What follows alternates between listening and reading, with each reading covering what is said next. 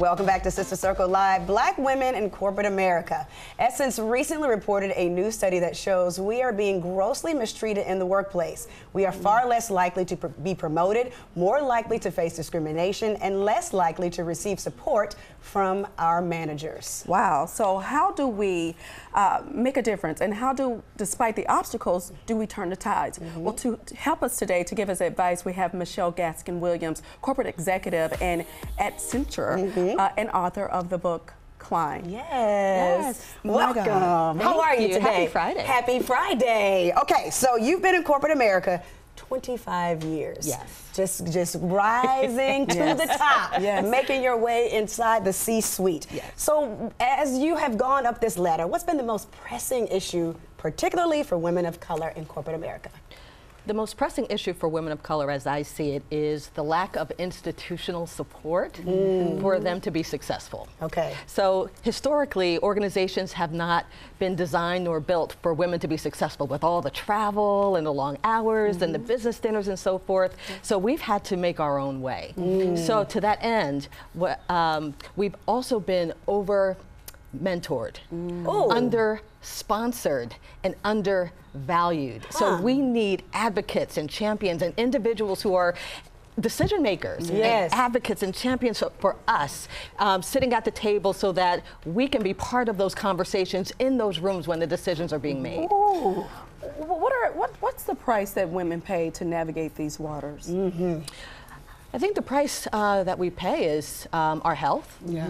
our relationships mm -hmm. with our significant others and our spouses. And um, if I could be candid for Please. a moment, um, you know, my husband and I, we've had our ups and downs in terms of our marriage. And yeah. at certain points of our marriage, I put my career ahead of him. Mm. And one example of that is we had a vacation a few years ago uh, that he surprised me with, and I was Blackberrying, remember those? Yeah. Blackberrying yeah. away. I had a Blackberry and two cell phones, and he looked at me and said, you know, I, I didn't sign up for this. Wow. Mm you know, this, this is just not acceptable for me. So I decided to reprioritize okay. my life. Yeah. So. Michelle, may I ask, and, and this this is, you're not the first and only person or only woman who's ever went through this. Mm -hmm. May I ask, why do you think it is expected for women to be in a supportive role of a man and the man is not to be in a supportive role of a woman in the career in, in the in the realm of um, professionalism I, I, think it's it's both and I have been fortunate enough to be in a relationship where you know there have been times when he's been the breadwinner mm -hmm. and there have been times when Paradigm I've been the bread, yeah. breadwinner yeah. so I think it's a reciprocal relationship but as long as the common goal is acknowledged and known and you're working toward that common goal all is good good yes. good, good and good. all is good with this book climb.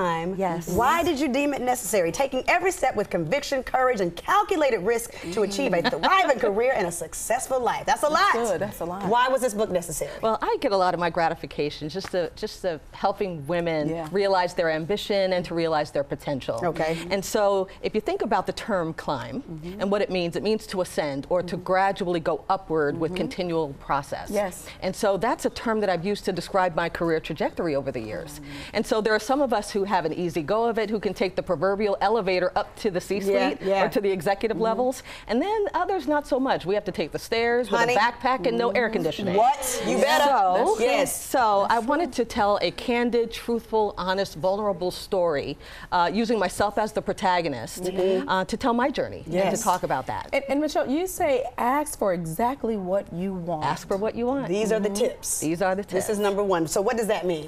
You know, I've been taught by the best, mm-hmm. my parents. So my father is a retired executive, my mother's an entrepreneur, and they always said, just ask for what you want. Mm -hmm. What's the worst that can happen is that they say no. Yeah. Right. Yeah. So, you know, have those candid or courageous conversations. Mm -hmm. You'd be surprised what the outcome might be. Yes, okay. And number two, you say it's important to stand out. Stand mm. out, yes. Differentiate yourself from the masses. Mm. Think of yourself as a product, a mm-hmm. USP. I think of myself as like a, what is your unique selling proposition, -hmm. right? What is that one thing that differentiates you from everybody else. Hone in on that, zero in on that, and use that to your advantage.